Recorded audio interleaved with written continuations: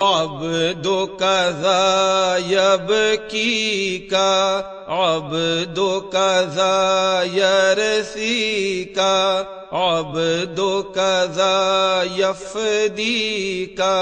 قد قال ذا الشعر فيك أدع حق الفداعي ولهفتا يا حسين سید شہدا